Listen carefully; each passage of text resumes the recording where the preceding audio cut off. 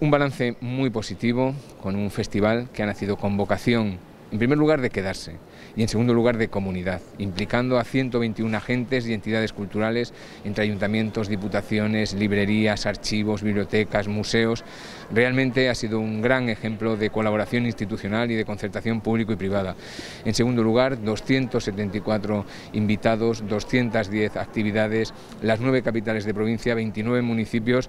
Yo creo realmente que es un gran ejemplo de lo que la cultura puede hacer por esta comunidad, en concreto la literatura, ese homenaje a la lengua que pretendemos hacer con este festival y ha supuesto también, no solamente ya desde el punto de vista cultural, sino también turístico, un 20% de movilidad hemos detectado entre los diferentes eh, ciudadanos que han ido de un sitio para otro queriendo acudir un poco al reclamo de esa calidad ¿no? de, que pretendíamos con estas actividades.